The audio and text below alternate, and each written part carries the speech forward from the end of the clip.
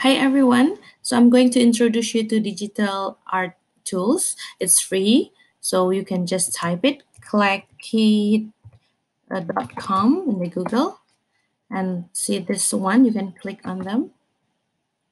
So you get this uh, page. It's called a Kleki.com. It's a for the digital painting tools. Yep, so this is called the canvas, the white part that you see. So we can zoom out and zoom in here. Yep, and then zoom out since we don't have the pictures. See, like that one. Yep, so I will introduce you to the tools first. This is the brush one. So if you like to just use the general brush, you can use this one. Let's try like that. And if you like to do this blending brush and then maybe special if effects one, you can also try it here. Yep. Okay. The next thing that you see, this is a paint palette, a color palette. So if you drag them, it shows changing colors. It depends what colors do you want. Let's see purple one. So I'm going to pick this one and do that one. Yep. Oh, I'm going to do a general brush here we're going back here first. Yep. So let's see, like that one. As you can see in here, this is the size of your brush. How big do you want your brush? This is just number four, but the more number that you put, it's going to be bigger, of course. See? Yeah. And if you like to put opacity, it's called see-through paint. So if you want 100%, it's just the same thing like that. And if you want to do just really see through, so you can just do lower number. Again, bigger number. Okay.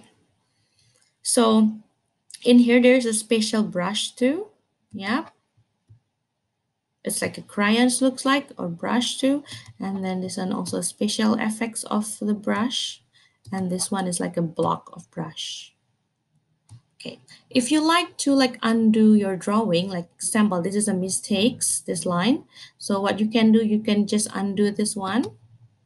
And if you like them to return again on your canvas, you can just do redo this one.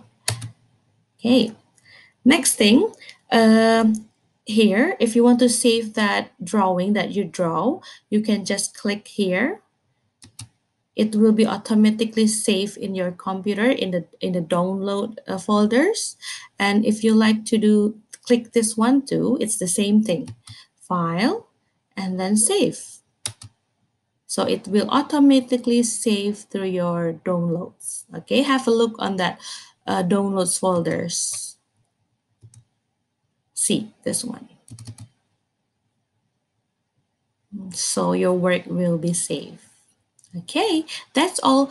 Please explore some more drawing. You can try anything that you like here. Yeah, maybe make a dots, okay, or make some things out of it. Okay, let's try. Be a sticker. Don't forget about that. Yeah, and then you can explore other else. Yep.